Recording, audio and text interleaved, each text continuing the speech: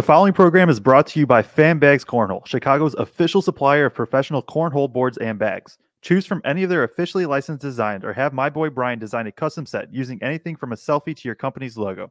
Visit www.fanbagscornhole.com to get 10 and use the promo code BRAGS to get 10% off your entire order. That's www.fanbagscornhole.com and use promo code BRAG BRAGS for 10% off. Step up your game with FanBags Cornhole.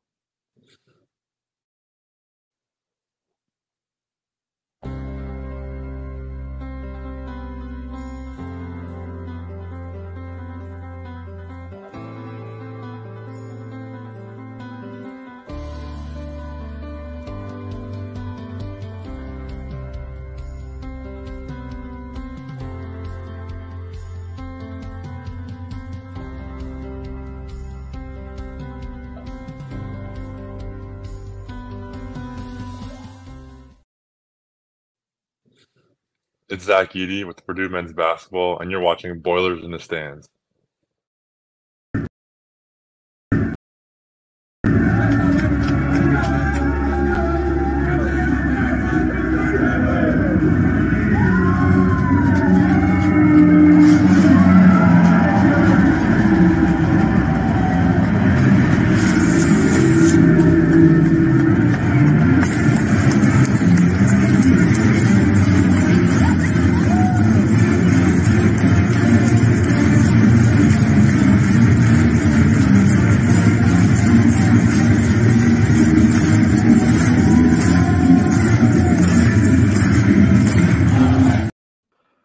Welcome back to Boilers in the Stands. I'm your host, Joe Jackson. Joining me is my friend, my co host, Kraig Bowers. As we, I mean, March Madness is here. We have the first four, three of the first four games done. Um, first round, the like all the games that starts tomorrow. And we finally know Purdue's first round matchup, and that will be Grambling State as they beat Montana State 88 to 81. It honestly was a really fun game to watch. Um, two 16 seeds battling at it, battling at it. It goes to overtime. So Purdue now officially knows their opponent. We will preview that game, uh, maybe preview a little bit of the rest of just kind of the overall Purdue's path, um, and then call it a night as, as, it's a very, very fun day ahead of us tomorrow. Kraig, throw it to you. Um, just, I guess we'll kind of do it like how we do a normal show, but how what were your instant reactions to that game? Um, you know, one just man, that was a really fun game. And I, I think I, I put a tweet out like partway through the first half, but these 16 seeds aren't aren't your father's or your grandfather's 16 seeds you know? I, I, remember watching games 10 15 years ago and watching a 16 seed and thinking like why are they here? Why are they in the tournament? You know this is terrible terrible basketball. And you watch these two teams tonight and it was fun and they had shot makers they had playmakers um, good defense especially by grambling state in that second half and you understand why they're here. Um, everybody that's in this field is a good team now, saying that, Purdue should handle either one of these teams, regardless of which one won tonight. Um, I don't want to say easy, but they should handle either one of these teams. But with that said, like these are solid teams. Uh, these aren't your uh, 1990, early 2016 seeds anymore. Yeah, I 100% agree. And, and even Grambling State, like you look at their schedule, and that's just they're in the the SWAC, and what's the teams in the SWAC do is they just schedule gauntlets for non-conference. They take any single buy game that they have. Um, I remember, I think it was last year. I read an article on. I don't remember which specific SWAC team it was, but it was one of them. And it was basically like they weren't home for like three weeks straight. Um, it was just buy game after buy game, but it also kind of helps build them for moments like this. And they were down what double? They were down double digits in the second half at one point. Come back, force OT. Um, so it's gonna be it's gonna be a fun game. I agree. Purdue, like Purdue, straight up just should they, they should win by probably twenty plus against either of these teams, maybe even more. We've also seen like like if this was a regular if this was a regular season game, Purdue would be like favored by thirty, right? But obviously it's not. It's March, um, and there's just different levels to it. So Purdue just has to come out, uh, put their foot on the gas right away, and not let Grambling State even get like a hint of, of momentum and um, obviously, the Purdue is immensely more talented, but anything can happen, as we've seen. So um, we can just kind of dive into, I guess, Grambling State in general. Um, they are a team. They are ranked 267th in KenPom before this. It'll be updated. They'll be a little bit higher after this game. Um, basically, mainly built on the defensive end. They struggle scoring the ball at times. It has kind of been their mo all year. Uh, a lot of isolations and things like that. But I'll throw it to you, Kraig. What is Grit? We're, we're going to throw out like, hey, we, we understand that Purdue is the better team. But when you look at this Grambling State team, what are some things that either like concern you or you're like you'll kind of be looking at for the game on Friday? Yeah, and you know, I guess um, like I said, Purdue Purdue should have handled either one of these teams, regardless of which one they face, and I, I still think they will. Um, but with that said, I think me and you were on opposite ends of the spectrum of like if we had to pick which team would we rather face. I saw you say something, maybe it was just in a in a text message yeah. that that you were leaning more towards hoping that we face Grambling State. And I was kind of on the opposite end of that because I actually thought Montana State was the better team coming into this, just in terms of what they do fundamentally, in terms of just basic basketball skill, shot making ability, those sort of things. But to me, there's a great difference in terms of type and style of play that's greater between Grambling State and Purdue. And a team like Montana State to me is a team that that Purdue normally just handles because they do the same things that Montana State does, just way better uh, with bigger players and better athletes. And Grambling State's a little bit different. They're going to go ISO a bunch um, and just like put it in their guys' hands and expect them to go out and make a play. So Purdue's going to have to guard them one on one, and um, you know they're going to hunt matchups, I would assume, and they're going to try to pick people out to go out on one on one. So Purdue's defenders are going to have to step up and they're going to have to stop it. We saw, you know, against North Texas, against St. Peter's, some guys kind of break down some of Purdue's perimeter players one on one that were lower level teams, uh, but super athletic, quick guards. I don't know as I watch Grambling State that I came away with that same feels like North Texas had some dudes on that team on the perimeter. Like I, I don't look at Grambling State and think they necessarily have the same type of dudes. Um, but they're going to have to step up and they're going to have to stop them one on one or, you know, at the same time, if they can't draw Edey out from inside, there's going to be a seven foot four, 290 pound man waiting for him underneath the rim, too. And so that's kind, that was that, kind of that may change things from what it looked like tonight. Yeah. And, and, Purdue, like we, we're gonna, I'm gonna say it again. Purdue should beat either of these teams. I lean Grambling State just of like, there's a few things. Um, one is like what Montana State just shoots the ball so well. It's one of those that's just like if Purdue isn't on points on the perimeter guarding them, like I could see Montana State having that first half basically, and where it's just now you're going into the second half basically tied with Purdue, and then it's just like don't want to be in that spot. Um, for Grambling State, like they they do good um, in creating pressure on the perimeter. I do think they're when you look at their raw ter- defensive turnover percentage, I think it's inflated a little bit because their conference as a whole, like doesn't know how to take care of the ball. Because um, right now they're 59th in the country in, in turnover percentage, but they are they were in the middle, like just an average team in their conference for forcing turnovers. So like, just want to throw that out there. It's probably a little bit like higher than than maybe what it would actually look like. Um, but then on on when they are on offense, right, is there I just don't see how they can keep up scoring with with Purdue is more of what it is. Like regardless of kind of what they're able to do defensively, um, I, I, just don't see how they're going to have an easy time scoring the ball. They also turn it over a lot. They don't shoot a lot of threes. They don't shoot efficiently at all from interior, and that's usually against somebody not named Zach Edey.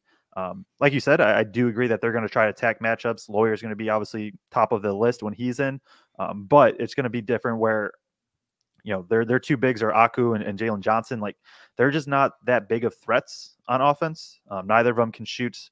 Neither of them are really going to step out. And just in general, um, there's not too many guys on this team that are going to respect, um, get respect on the perimeter. There's two, maybe three, I would say, that are mm, three. I would say three that probably will in some capacity. Uh, but it's just, yeah, I just, it, I don't, uh, I don't see an easy path for Grambling State to keep up with Purdue scoring the ball other than, hey, we're going to hit hero shot after hero shot. And if that happens, then it is what it is, and you figure it out from there. Um, but that that's kind of why I was leaning Grambling State. But I totally get the Montana State thing too, of just like Purdue's just better than them at what they do. Um, right. And I, I guess you know it, if you want a reason to me statistically to look at this game and say there's absolutely no chance that Grambling State can hang with Purdue. Um, it's the amount of offensive rebounds they give up, right? They rank 334th in the country in terms of offensive rebound percentage um, given up to the other team. And that's kind of where Purdue makes its hay. So, like, if you're going to look at that, and then, you know, just to kick in on top of that, they rank 221st in terms of free throws given up per field goals attempted. So they're going to foul a decent amount and they're going to give up a crap ton of offensive rebounds. And even if Purdue's not having a great shooting night, just the fact that they can clean the glass up, the fact that they can get to the free throw line ought to lend its way towards a Purdue win uh, in this particular matchup for me. And then also on the defensive end, um, so Grambling State they they kind of just limit shots on the perimeter um, defensively is what they, they try to do. They don't send a ton of help. They kind of allow almost like how when they go one on one on offense on defense they allow one on one. They're also just like really bad at defending the rim. Um, that's just not a strength for them at all. They're not good at defending in the rim in the paint, um, and so you know I, I think that's also part of it too. Of like you're gonna they're either gonna let Edey get 35 points or they're gonna triple team them, and then it just purely comes down to when we think about the FDU, it's can you knock down a jumper? And I trust this team to knock down more jumpers. I, I am so much more confident in that, and I think that's the big thing too. Um, with this is just like there's just so many more options for Purdue to score, not only in this game, obviously, but just in general. Braden can get his, Lance we know can go for 20 on any night, uh, even Fletch, and, and just guys off the bench too. So um, let's where do we want to go? I don't, I don't, We didn't really talk ahead how we want to do this. We no. want to do like? Well, I was just gonna say on the like not giving up a bunch of threes and whatnot. Like looking statistically uh, before this game and just watching a little bit of tape, I would kind of agree with you. And then I watched tonight and I was like, man, Montana State was getting wide open looks left and right for a while there and just missing some of those wide open looks. They hit a bunch in the first half, uh, but they still got plenty of looks. So I don't you know, they're going to have to figure out how they want to try to contain Zach. And they're, you know, we've seen time and time again um, these smaller teams kind of throw out the window maybe what they normally do defensively when they play Purdue. So obviously, you wonder just coming into this game, are they going to toss everything? I don't want to say everything out the door, but are they going to toss a lot of what they do out the door and just try to completely attack Zach? And if they do, um, probably going to give up a lot of wide open threes on top of that. Go ahead. And then it's simply just making them. But uh, I think their coach's exact quote was, "We're going to throw the backyard at Zach Edey." Is, is what the coach said after the game. Okay. so not just the kitchen sink, the whole backyard as well. Um, I'm trying to find this stat really quick because I forget if it was them or Montana State. As I was prepping, and now it's not loading. Yeah. Um, so okay. So one in terms of the post, uh, Grambling State just doesn't face a ton of post ups. They faced played 100 faced 110 this entire season. I don't know. I can look it up, but Zach Edey has a lot more than 110 himself on the entire season. Um, and out of those, they've trapped. It says 19 times. Um, and so basically, what my point is, is like they're going to probably try to z- trap Zach Edey, right? That's just what's going to happen. Can it work? Absolutely. And they do are they are a good team of getting in passing lanes and stuff like that. But at the same time, they are now going to have to implement that post trap within 48 hours. Um, can it be done? Absolutely. But at the same time, that's a tough thing to do. Uh, and just especially on just sh- such short prep. And that's where it's kind of the benefit that Purdue gets a play in, where it's just like if I'd rather have Painter on, on short prep than a team trying to prep against Purdue. Um, was a little annoying in terms of prepping for me for this, but you know, I'll I'll sacrifice a little bit for them. Um, what was the other? There was one other thought I had.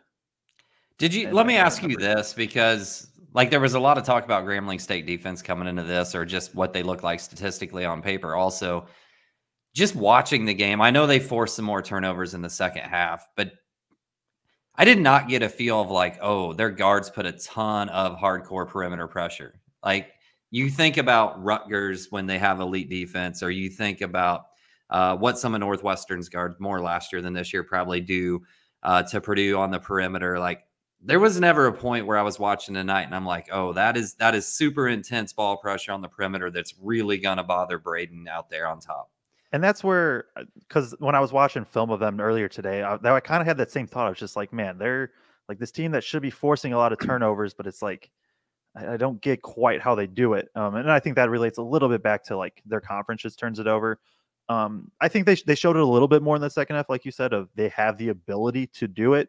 It just doesn't seem like it's as consistent, maybe as you kind of expect from a team with this kind of statistical profile, um, for lack of a better word. But um, no, I agree. This is at the end of the day, if Purdue takes care of the ball, they'll, they'll definitely they like they'll win this game, um, and they should. Braden's much much better at just taking care of the ball, whether it be in pick and roll, and they're not a great team defending the pick and roll. They're just okay at, at, in general. Like Edey should eat, and then if you knock down just even a few threes, like even just a, I mean, an average day, I guess for Purdue is forty percent, but even get like a thirty-three percent night from three on decent volume should be enough for Purdue. Um, let's dive in, I guess, a little bit into what uh, Grambling State does offensively, as they they're going to ISO a lot, and we talked about that a little bit. Um, I'm trying to what's the trying to pull up the exact stats from this game. Burnett had 18 for them. Smith had 18. Cofer had 19. that was wild. 10. Yeah, because like Cofer, he didn't really pop up at all on my scouting report. Yeah, because he's played before tonight. He played 24 minutes in the past since like basically since February. He's played like 40 minutes total before tonight. Um, comes off the bench, goes crazy there are a bunch of dudes that are going to ISO and they'll, they'll run some pick and rolls and they'll run, they, they like running this kind of staggered pin down look. Um, but I guess go to you, who or what about their offense, if you did have to pick a concern with Purdue, is they're going to be aside from purely matchup hunting? Aside from purely matchup hunting? Yes. I mean, that's what scares me the most is like, if they're just going to try to, and I don't think I need to say it, um, where they're going to try to maybe get that matchup uh, with Purdue starting lineup and and whether Purdue will be able to stop them one way or another out there. I I think obviously they will. And the fact that Zach's standing back there behind him, I didn't. There wasn't a lot today that was like, oh, they're going to pull up and hit a bunch of 10, 8 to 10 footers, right? Yeah.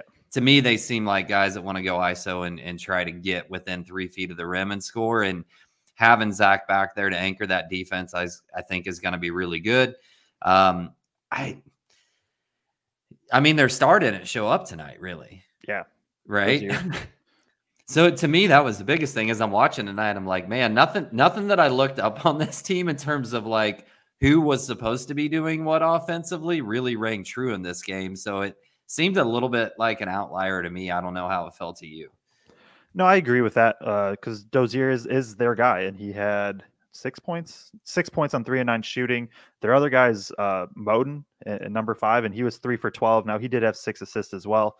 And this is, yeah, I, I think they're just what they've done for a lot is out of those games that I've watched is just they're just going to drive, drive, drive. They're going to try to get downhill as much as possible. That does bring in the the foul potentials and all of that, as they are also a team that draws a lot of fouls. Um, and we we'll talk about that in a sec. Um, but that's just what they want to do. They want to drive. They want to drive. They want to drive. But they also aren't that good at like efficient at finishing at the rim. Um, and this is where Edey does. Edey has to stay out of foul trouble, but also impose his will and, and kind of just balance that out. Also, just hopefully, like I think the hope is he could be aggressive because this game can be put away in 20 minutes. And it doesn't matter if he's maybe in foul trouble at the 25 minute mark because he might not come back in the rest of the game. It is obviously the ideal world there. Um, they I, you know, just, I oh, I think Jordan Smith as a six foot seven guard, he put up 18 points tonight, and I, I thought he attacked uh, really well at different points in times tonight. Shoots six for 10. So, uh, you know, as kind of you're looking at that lineup one through five, I somebody has to guard him. six foot one or shorter in our starting lineup's going to have to guard him. Now, maybe if he starts going off, maybe that means more Morton minutes. Maybe that means more Heide minutes. Um, but I, I guess for me, that's maybe the matchup issue out of these particular five. Yeah, I agree. Um, to, I agree to an extent because the, the other, like, I guess it depends on what Jordan Smith is, is going to be there. Um, because he went two for two from three today. In his past three games, he is now six for eight from three. Um, and aside from that, on the year, he is five for 30. So he's been on kind of this heater these past few games, scoring the ball if that Jordan Smith coach shows up, then that is where the issue is a little bit. Um, who is because they start they start Burnett usually too, right? Yeah, um, yeah. And, and he's six and he's six foot five and listed as a forward. Yeah, and that's uh, where go ahead. It's where just like he's but he's just beefier and, and Smith yeah. is a little bit thinner and that, so they might try to stick Loyer on him. Um, what were you gonna say? I wasn't. Oh, okay. Um, but yeah, no, I I think if he's he's come on strong these last few games, he really has. So he'll be the guy. And then it, I assume Lance is just going to start on Dozier because that is their guy. If not, he starts on Moton would be my guess, and Braden takes the other. Yeah. So and then that and then that that leaves Fletch for Jordan Smith. It leaves TKR for Burnett's, and then Edey for Aku. Um, that feels pretty right. And then Aku's not a shooter. He hasn't even attempted a three all year. Um, he's also shooting 46% from the free throw line. So like Edey's probably just going to almost one man zone down there, I assume. Yeah. So I, I would feel like that. So, yeah. and even like, and then I want to go back to TKR, I guess, because I think that's where it's like TKR is kind of, you know, he's got into this role where he's 15 to 17 minutes a game. Um, and he maybe doesn't have the most offensive production at the moment, in large part because there's this guy named Zach Edey that plays pretty much the same position as him. Um, but if if Grambling State's going to sell out on Edey, it just feels like a TKR can go to work type game of we're going to get TKR one on one coverage because they're not going to want to double off of Zach. Um, and he should like he's going to have the size advantage over literally whoever's guarding him except for Aku, and Aku's not going to guard him. Um, so this that's where I want to go back to. Like I, I, think if TKR can stay on defensively, I assume he'll be on Burnett, unless he'll be on Smith. Stay out of foul trouble, which will be the big thing out of that because like both of those guys want to drive. It I feel like it could be a 15 plus. Uh, that feels a lot. I'll stick with it. I think it could be like a 15 point game from TKR. Like, I really I mean, do. I mean, if they sell out on Zach, yeah. Yes, and that's um, what my my premise is on. Yeah, for sure. I, I'm yeah. I don't. I think just as you look at this team up and down, they really only have one guy that I think can somewhat defend the post, but they're not going to do like they can't do that one on one. There's no way they can look at this game and say that they're going to put Aku on on Edey one on one. And Zach's shown the ability to hit TKR off that, you know, kind of backside cut um, coming down if he does get doubled or he can kick out either one. Uh, but also, we've seen Painter multiple times this year, even at the start of games, like right off the jump. Just kind of, I don't want to say use Zach as a decoy, but kind of use Zach as a little bit of a decoy and just feed TKR like two or three possessions, like right off the jump. And um, it one, and I think he does that right partially to be like, hey, like if this was your game plan, we got this other dude. Yeah. um, and I it would not shock me at all to see that. Oh, David, this was this probably had to be right about the time that I was starting on it. It was David Dillman says any chance Purdue draws things up for TKR on the post with the expected double against Edey. I promise you, I did not see that chat till now, but um, we were thinking the same thing right there, David. I, I we do think so. Like, or there's at least a possibility of it. It would make sense. Um, and then you can bring in Gillis and and run your, you know, you're gonna get a bunch of threes up that way. Um, yeah, either one. And Gillis should feast in this game if they are going to sell out on Zach. And I think we've just seen over and over again, whether it's Braden, Zach, Fletch, Lance, depending on who's on from outside that given day, or even if it's Cam Heide, Uh, we might have another random Cam Heide like be on fire from outside. There's there's enough guys, or you know, this year compared to last year, right? Um, the option when Purdue wasn't hitting threes when FDU just completely sold out on Zach. Three, right? legitimately three guys on him. Yes. Right. Your your option was right. I guess was Ethan starting? Did Ethan start that game? He either start. He played like twenty minutes. I'm pretty sure. Right. There there was no Myles Colvin sitting on the bench that was shooting 38 percent that has no fear. like, yeah. and do I think Myles Colvin plays a significant role in this game? I have no idea. Um, you know, tendency would say based on minutes played over the last 15 games? Probably not. But if for whatever reason there's some guys who played in this game last year against FDU that come out tight and they just need somebody to come in and bury threes, you got a dude on the bench that can come in and fire away and shoot 38% that has nothing in his head about what happened last year at all. True. I mean, and he'll have if he misses his first, he'll have nothing in his head still, and and um, that's where that is the one scenario where it's like right? Is if say Purdue comes out slow and they're they're missing threes, is Purdue just has to flip that switch that we know they have. Um, at times, I, I, especially lately, they've kind of let teams hang around early and then being able to pull it away a little bit. Um, but this team just doesn't feel like that with Lance Jones. Fletch is much more confident. You have, like you said, Colvin off the bench. Even Heide will come in and he'll, you know, especially if Heide can make that first one, then kind of it's it's all things go from there for him. Um, Gillis has shot insanely, insanely well this year compared. I mean, Gillis was shooting 35% from three last year, and that's in large part because he went nine for 12 in a game. Like if you took that out, he was like 31% or 32%. He's shooting 48% this year um, on basically the same volume. Like there's just these dudes are just so much more confident if they do sell out on Edey that like you have either TKR on the other post or you have these shooters, or the other thing is, and um, for anybody that hasn't watched, there's a video kind of breaking down Purdue um, by Hoop Vision 68, Jordan Sperber. It's Hoop, Hoop Vision 68 on YouTube. Mm-hmm. Really great mm-hmm. breakdown. He's also just he's like my personal favorite uh, college basketball like media person ever. Um, but he does a good job breaking down of the game. And one of the things is like in the FDU game last year, Braden Smith hit a pull up jumper out of pick and roll the very first possession and did not the rest of the game. They have that this time. That they, they Braden Braden will be there. I everything. I know there's been some chats asking if he's been healthy. I think uh, Painter said he's fine. Well, whether fine means 80% or 100%, who actually knows? But 80% Braden should be good enough in this game. Get to his pull up, it's going to be there, or get downhill. Um, and that's the other, like, that's just probably the, the piece we haven't talked about enough is what Braden can do offensively this year compared to last. Just makes this team so much more dynamic. Yeah, and just how much more. I mean, they started to do it more and more and more as the year wore on last year, but I do you have numbers on the difference in like uh, pick and roll percentage from this year to last year by chance off the top of your head? Because not off the top of my head, but I can find it really quick. Yeah, I, I mean, to me, it just seems like that has been it, it was there last year, but it, to the level that it is this year, I, I think that has just increased so much. And I think in this particular type of game, or like that FDU game last year, where you be, bring Zach out high and you get him rolling to the rim instead of trying to just force feed him with two guys sitting there ready to mob them um, off the back. I think that adds a, a, significantly different element just in terms of how comfortable Braden is with that and his like newfound commitment to if you're going to turn your body, if you're going to turn your head, I'm going to the rim at that point. Like yep. I'm going to go ahead and make you pay and I'm going to burn you for it. So last year uh, on this, this is so this is pick and art pick and rolls specifically including passes as well so like kickouts for three or whatever.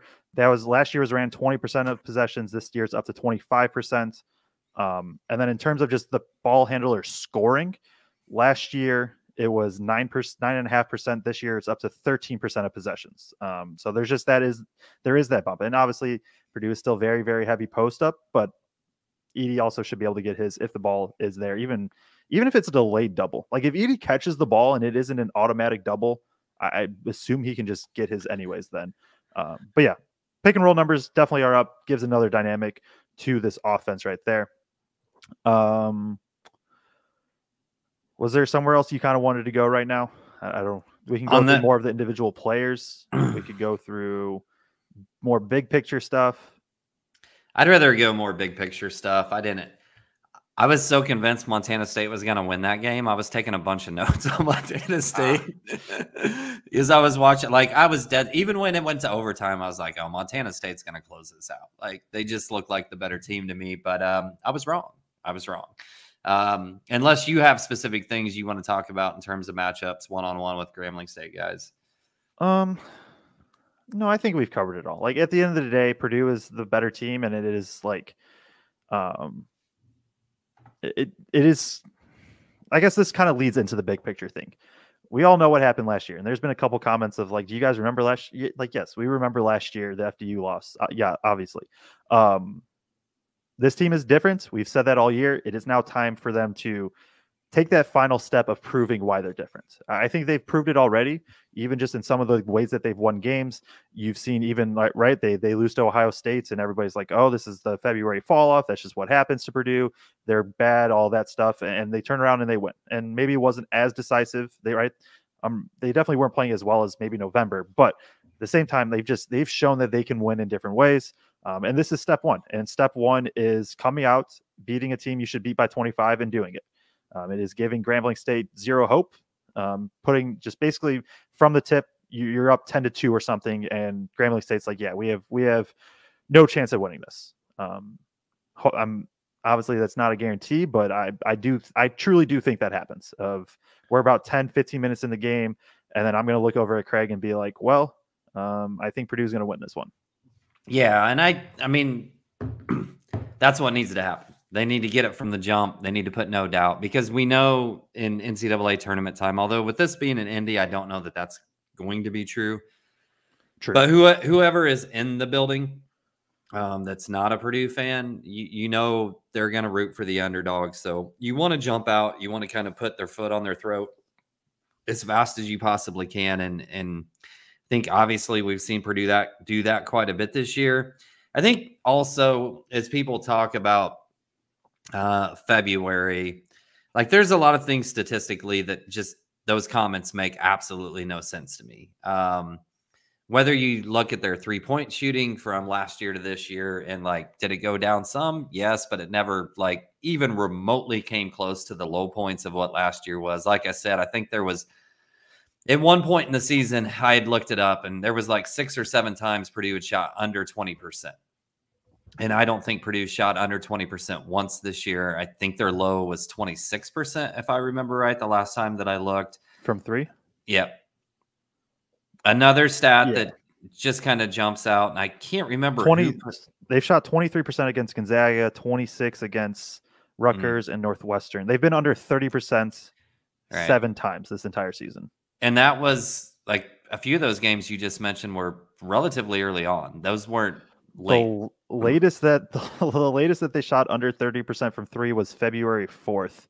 Um, and At there's only Wisconsin. been yeah, there's only been two games in the year of 20 or three games in the year of 2024 that they've shot under 30% from three. Right.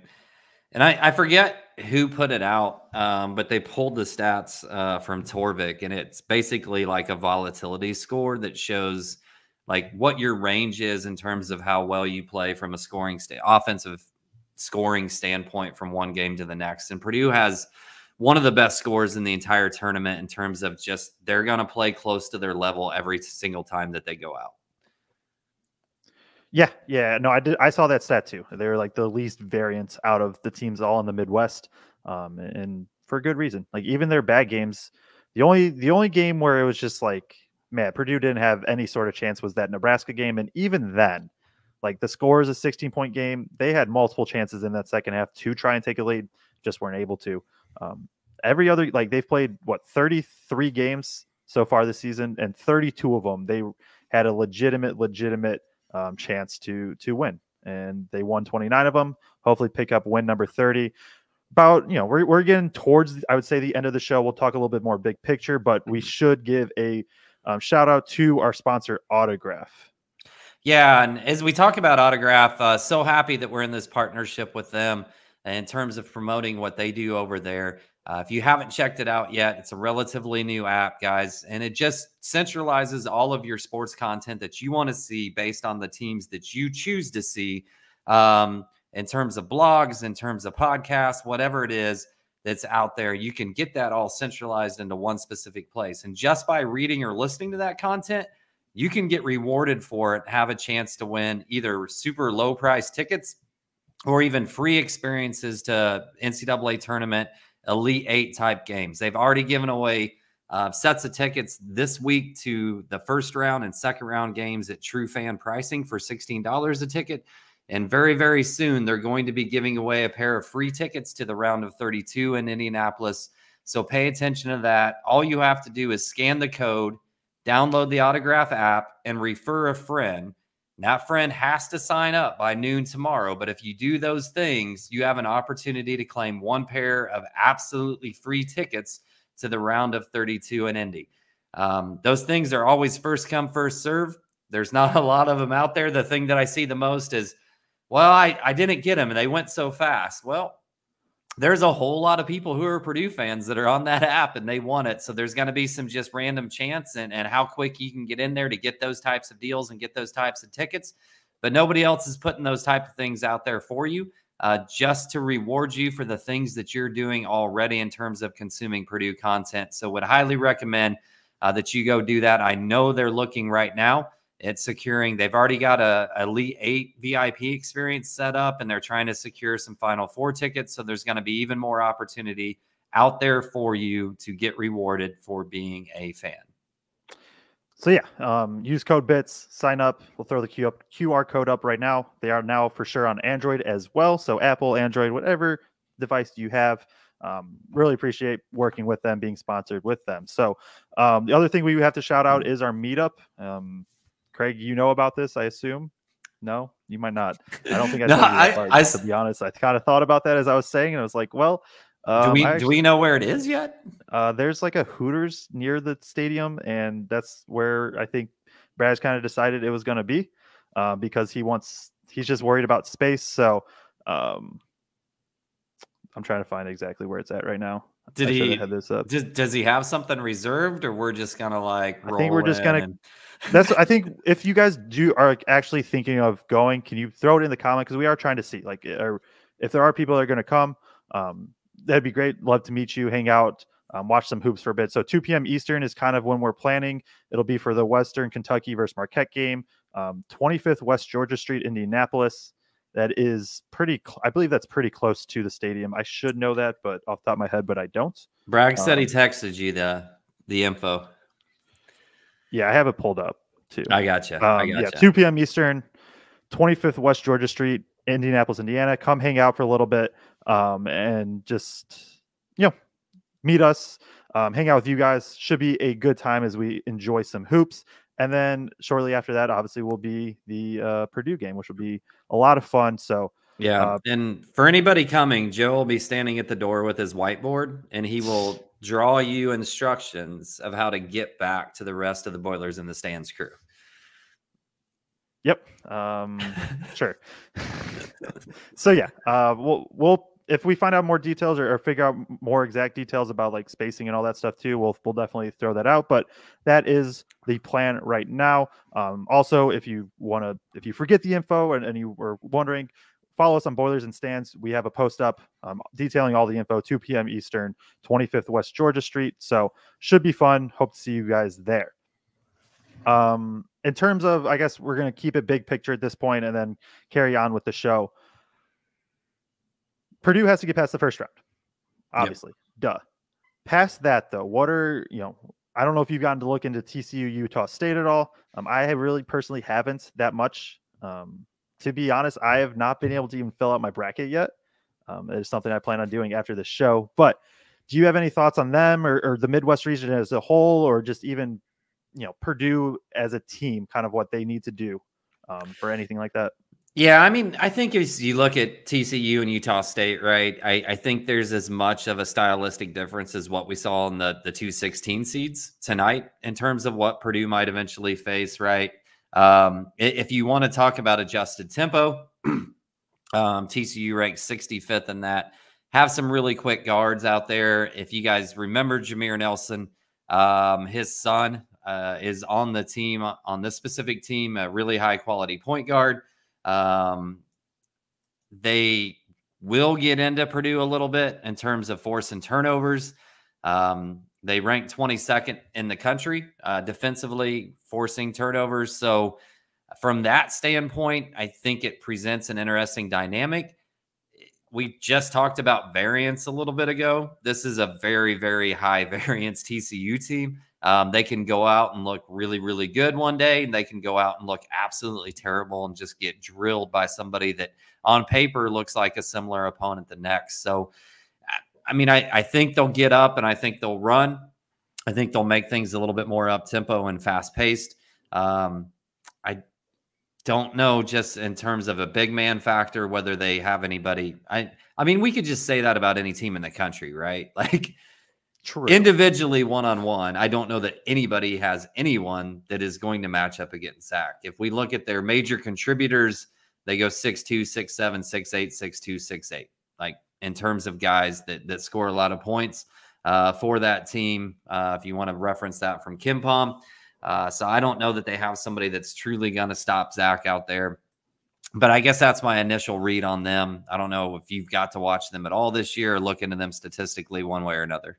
Yeah, I've, I've watched one game of them, um, and it is a lot of what you said. They're going to try to get into guards. Um, they want to speed up the game offensively, they, but defensively, they're fine turning it into a grind if they don't get a turnover right away. In terms of matchup, they probably are the tougher matchup than Utah State.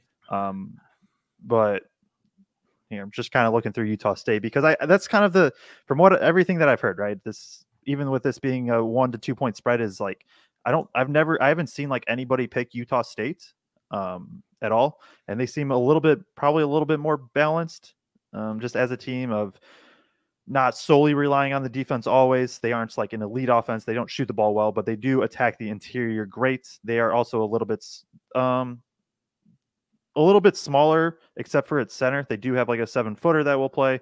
Um, they also have Ian Martinez. Anybody that remembers him from Maryland last year, this is where he's transferred. He's actually had a pretty good year for them. Um, yeah, I, I, mean, TCU could probably give Purdue a little bit more trouble. At the end of the day, I still tr- like I still tr- I'm going to trust this Purdue team against literally anybody in the country. So it's maybe stating the obvious, but like I, I still think that neither of these have like neither of these teams are as good as Purdue. Um, and it comes out to what you do, obviously, in one game. But both of them, I, I think Purdue like should I don't want to say take care of because they could be close, but should win. And then you like you look at the the four, I mean the four thirteen and the five twelve in the Midwest is like two of the most common upsets I think I've seen out of like everybody. Like I, I think a lot of people legitimately have Samford versus uh, McNeese State in that 12-13. Do you have any thoughts on that, um, or just yeah, any of those matchups? I guess. I mean, I, I, guess for me personally, anybody who's followed uh, coverage throughout the year, I've said it since Maui that I thought Kansas Kansas was terribly overrated to start this season, and the only reason I thought they beat Tennessee in Maui was because Tennessee had to play the style that they play for three days in a row. And Kansas just really lacks three point shooting in terms of any predictability from there. Uh, Furphy kind of got on a little bit of a streak at some point in this season and, and relieved that pressure from outside a little bit, but that hasn't carried through um, through the entire season. You add in there that, um, you know, essentially a potential All American is injured and out for the year in McCullar, I I would give me Kansas all friggin' day long, all day. Yeah, I would. I wouldn't mind Kansas. I I feel comfortable really against any of the four. Um, again, I, I think this is a good draw for Purdue. I, I really do think it is. Um, you know, even if Samford, like if because I've seen the jokes of like, you know, Samford is going to be the team that beats them like if they make the Sweet 16 or whatever. But it's like Purdue beat Samford by 43 this year, um, and I understand that was the very first game of the year, and teams can improve and teams are different. But like, it's not like it's this is just it's not like Purdue's just gonna lose to a low seed automatically.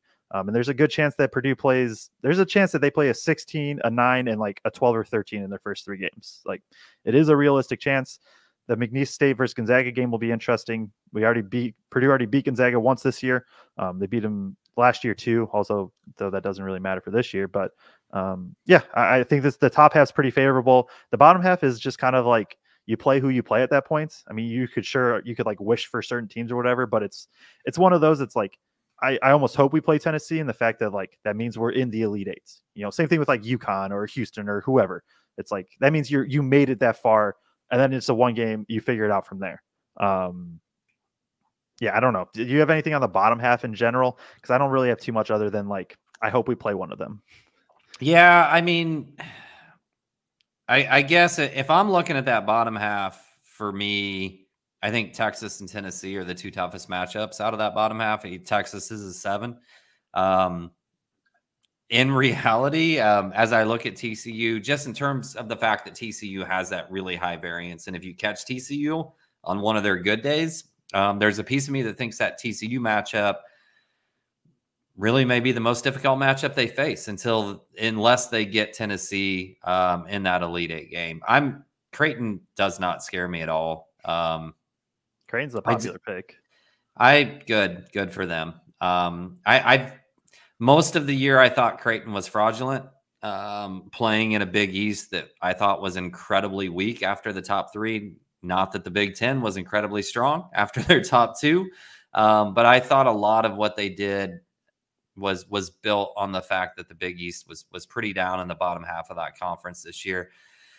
And then they came out, and I think they did they beat Marquette towards the end of the year, right? Like on the road or something, and did something. And I was like, okay, that was a good win. Um, yeah, they did.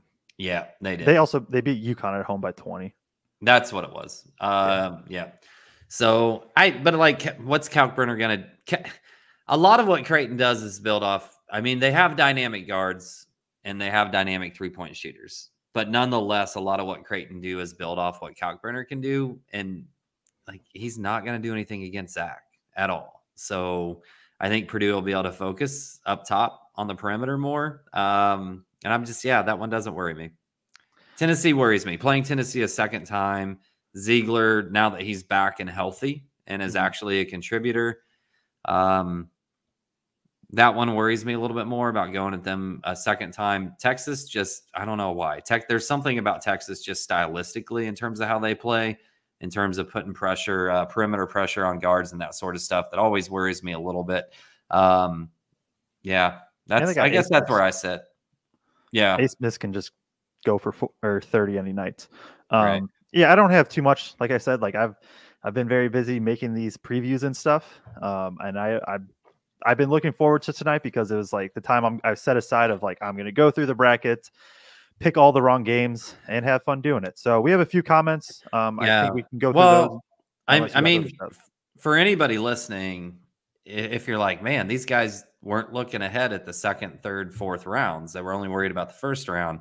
That was supposed to be Braggs's job tonight. Like he was going to be the expert analyst on mm-hmm. round two, round three, round four and then something came up with him and he couldn't come on the show so that's that's the only reason we're a little bit underprepared on round two three and four yep. Also i'm i'm seeing a few comments too of just like basically don't overlook round one.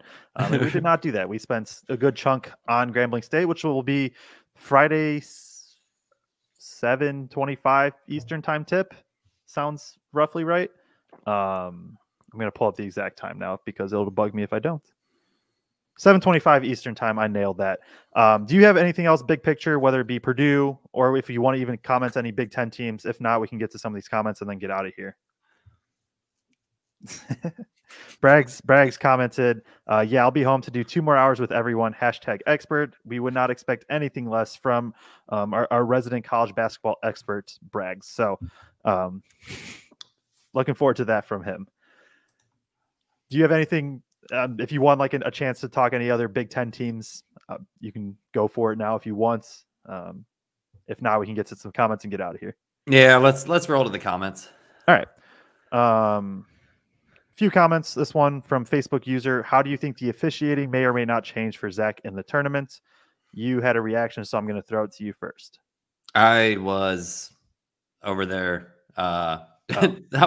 I was starring another comment, but um, with that said, it, has been highlighted a few different times. Um, officiating wasn't the issue in that game last year. The issue yeah. was missing three point shots. If you look at in terms of what Purdue averages from fouls, in terms of fouls drawn by Zach, all that sort of stuff, that wasn't an outlier game um, in, in terms of how it was officiated. There were Big Ten refs, of quote, okay, guys who there are no such thing as Big Ten refs, but there are guys who refed in the Big Ten who had refed Zach Edey that year who called that game.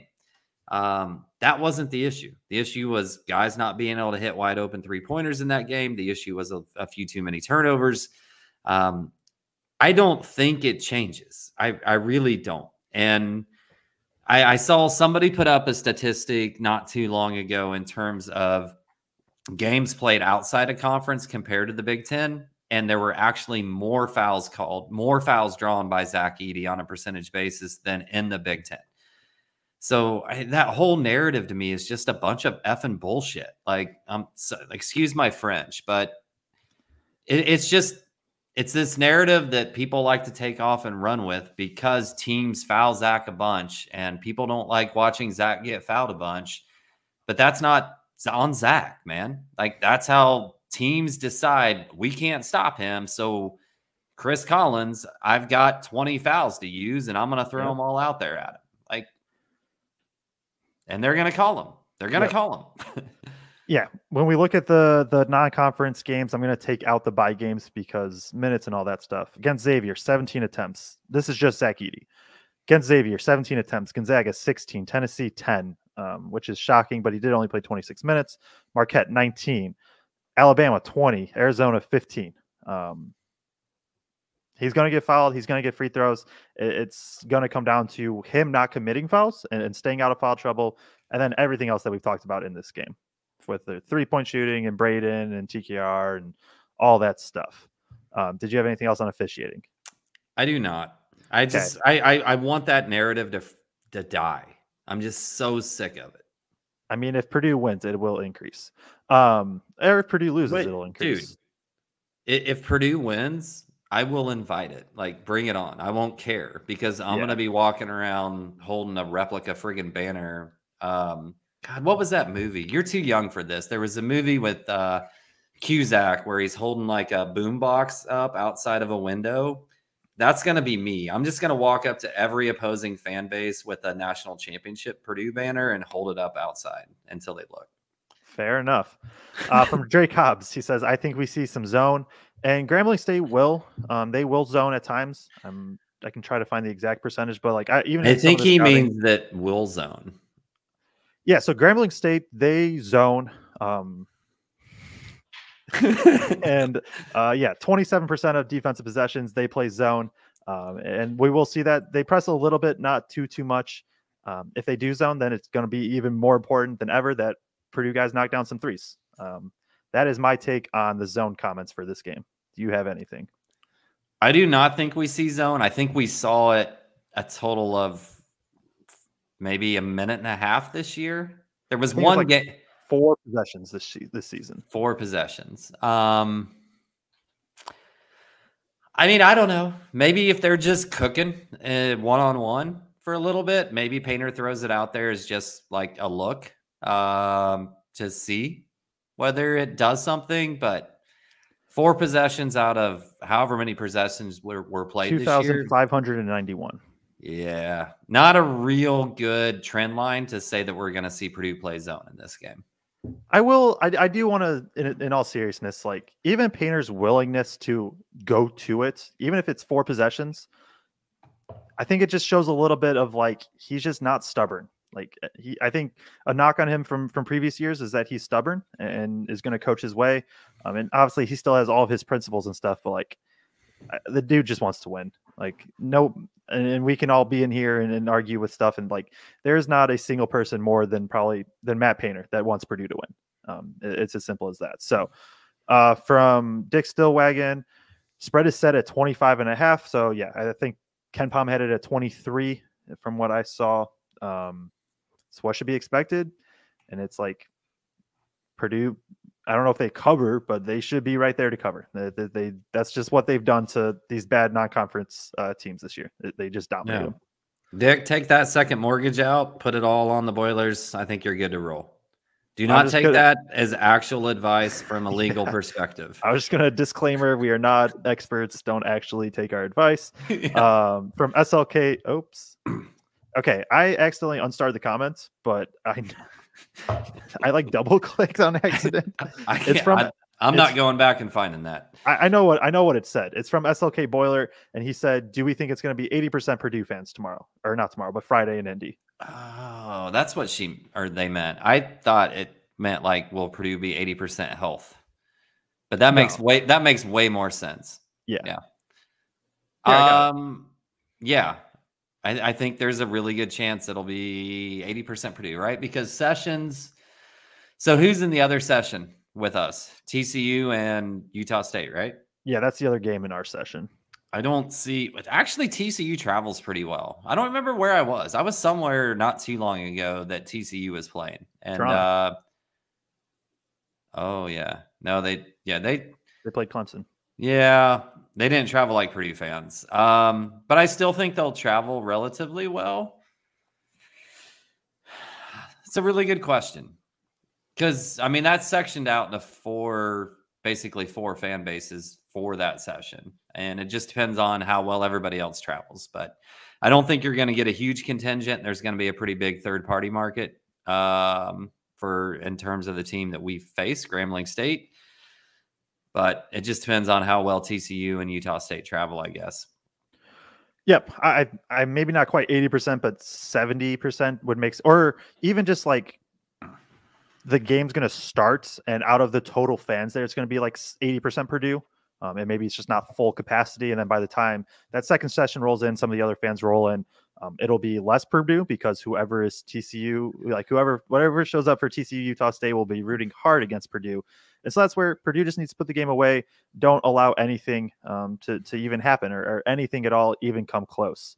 From you, said also we're coming off a loss coming off our previous three losses we've beaten teams by 17 18 and 19 we will be pissed that's so that the the the it's basically true, except we've beaten teams by 17, 19, and 28. So maybe it was a typo. Maybe it's supposed to be 17, 28, and 19. Yeah. Either way, Purdue, like that's just what they do. Granted, all those games were home games. Um, they all were against Big Ten teams. They were all home games, but like we said, this should be more. This should be a pseudo home game for Purdue. It, it really should. Um, from from Tariq Kamel, Tarek. Tarek. What? Tarek. Tarek, my bad. That is my Tarek Kamel. Seriously, why not sit Edey and Smith and see what happens through the first five minutes and continue without them if it isn't working? Um, I, no. he's been Tarek, Tarek has been um, concerned with the injuries, and, and I get that, but at the same time, you play if you play Edey and Smith, and hopefully you can just put them away in the first 20 minutes, and then they still just play 15, 20 minutes that game, um, and then you get some rest going into the next one. Would be kind of my take on that. Yeah, flip that. So play them to start, get a big lead, send them down after that. Um, like the infamous uh, Herm Edwards said, we play to win the game. I think that was Herm Edwards. I don't I don't really remember for sure. Um, but no, that wasn't Herm Edwards. That was the Colts uh, old coach. But anyway, uh, Mora, we play to win the game. Uh, but anyway, I, I think you have to roll with your guys that have been your starters all year. Get out, put your foot down, punch that lead out, then sit those guys down and let them rest. Yep, I agree. Um, from David Dillman, two days is a tough ask to prepare for Purdue after focusing on another matchup before that. I do agree. Um, the counter is FDU did it somehow last year, but I agree. Like I just two days to tough to to game plan for you know if not the best offense in the country, a top two, top three offense pretty conservatively in the country. Like with Zach Edey, the best player in the country, the most unique, the most dominant player in the country. Um, I, I, said it kind of at the top. Like I, will take Painter prepping two days on two days for anybody else rather than them having to prep for Purdue. Um, just with that. Yeah, and they're not from New Jersey, so we have that going. True, that is true. Do we know what state they're from? Alabama. Uh oh, geez, I thought they were from Georgia. No, Are they Louisiana. from Alabama? Louisiana. Oh God, we both missed. Yeah, we, I knew it was we, that area. We were in the deep south. We had yep. that going. um, you started this one. Facebook user said, "Any thoughts, comments on James Madison versus Wisconsin?" I'm going to throw it to you because you started. So here's my thing. Every every time that everybody is dead set that an upset's going to happen, I feel like it hardly ever actually happens. Um, when whenever all the pundits are on it, and I just, man, you look at JMU, they beat Michigan State early. It looked like an awesome win. It turned out that Michigan State actually isn't very good and maybe shouldn't have even been in this tournament coming into it. Um, but I'm going to root for them because they're Big Ten, and I'm a Big Ten homer when we get into the NCAA tournament. But I just you you look at the rest of James Madison's schedule, and it doesn't really jump out and impress you that much in terms of other people that they had to play from a strength of schedule, strength of record standpoint. And I just think they're a type of team to me when you when you go up against a Wisconsin that is so super fundamental in what they do, and then you've got a super athletic guy that can create his own shot and store, and you have two big men in Crowl and Wahl, depending on the situation in a given game, that can just eat down low unless Zach Edey's sitting underneath there. I don't buy it. Like I don't buy it. Like whatever the spread is, I'm gonna hammer it. I think it's it'll probably be around five plus or minus one or two. Um, I'm taking whiskey to cover the spread. And the the case for James Madison is that Wisconsin is awful at defending the three point line, and James Madison shoots a good amount and makes a lot. Um, and that's that is the main case. And then you have a dude like Terrence Edwards who can get downhill, kind of attack. He's going to get to that mid range, that floater area, which Wisconsin is going to give up. Um, to me, it's it's yeah, it's simply it's basically comes down to two things. It's it, what what AJ Storr is Wisconsin getting? Are they getting Big Ten tournament AJ Storr, early season AJ Storr? or are they getting February AJ Storr in terms of scoring the ball? Um, and then defensively, like I, I, still don't trust Wisconsin's defense. It is better than James Madison's. Um, are they just going to let these guys get hot and get open looks because James Madison has one, two, three, four, five, six, probably six, six to seven guys you have to legitimately respect from the three point line they got to make them though. Um, I don't know exactly where I, I, land on that. That's one I've been going back and forth on in my but head. like, also in the last month, Chucky's woke up and been like, "Oh yeah, I used to be a really dominant offensive player at one point." And most of this year, he's just deferred to everybody else. And those last two to three weeks, to me, it seems like he's really woken up. He he's played incredible defensively this year. Yes. But all of a sudden, it's like, oh yeah, like I I I used to be the second most important offensive threat on this team until we added some new guys, and he's woke up and he's really started to play from that end as well again. And then I love Blackwell. Um, you know that he's my favorite freshman in the Big Ten this year. I'm not going to say he had the best freshman season, but he's my favorite freshman uh, in the Big Ten. So I'm riding Wisconsin. Fair enough. Um, I do have one question for you because you said you're a Big Ten fan. Does that include Illinois then? You're rooting for Illinois to make it all the way to the uh, Final Four? I will root for Illinois. Yeah. Respect. I will. I will. Respect. Um, I'm. I mean, I'm with you. I'm. I'll be rooting for all the Big Ten teams. Um, none more yeah. so than Purdue, but I mean, my, my thing with Illinois has always just been stylistically. I don't like the way they play. Like I, I, just I don't enjoy that type of game. Um, but I'm gonna root for Big Ten teams when we get to the NCAA tournament. If IU was, uh, I'll catch heat for it. If IU was in, I would root for IU to go far in the big in the NCAA tournament for Big Ten sake. No, I would too. Um, and and I will be rooting for Big Ten teams. That's what I do. Um, it'll be interesting. There's a couple. Illinois has an interesting path, um, pretty tough path to be honest. And then what can Michigan State do? And then can either Nebraska or Wisconsin beat Houston? Is kind of what it's going to come down to if they can make it that far. Um, also, Keisei Tominaga just needs to have his moments, whether it be in just this first weekend and they do get bounced, but like give him a 35 points, eight threes type like logo. Like I, I, I need that also once. Um, so I think that's going to kind of wrap it up here. We did have a super chat from Heather Garrison. Um, do appreciate that as we are are getting into um, we're we're into it. Like the, season is the the postseason is here. I don't know where the season went. It's just kind of like, oh yeah, March Madness. It's time. It's go time. Uh, we're gonna have obviously our post game show after um, the Purdue versus Grambling State game, which is at 7:25 Eastern time, and hopefully we see a lot of you live both at uh, the meetup spot before the game at two Eastern, and then also um, at the game in Indy. Uh, I, I, hope it's it's that Arizona type feel where it's it's legitimately like a home game feel. Um, do you have anything else, Kraig? Anything at all? Uh, meet us at 2 p.m. at at Hooters. Apparently, there it is, and we will we will all have a good time. Joe will have his whiteboard. Um, he'll draw up plays for you while we were in there, and specifically what you should order. There we go. So appreciate everybody tuning in. Um, on the way out, just give this a, a quick like, and if you aren't subscribed, um, if you are watching on YouTube, please hit the subscribe button. If you're watching somewhere else, we also do appreciate that. But if you could head over to our YouTube, um, it's under Braggs in the Stands. If you look up Braggs in the Stands, Boilers in the Stands, it's going to pop up. Just hit the subscribe button. It, it, does help us a lot, especially as we're heading down this stretch um, and hoping and planning and expecting a, a pretty big uh, Purdue run. So hopefully we got a bunch of post game shows coming up for you. We do appreciate everybody tuning in, and we will catch you Friday, both live at our meetup and after the game.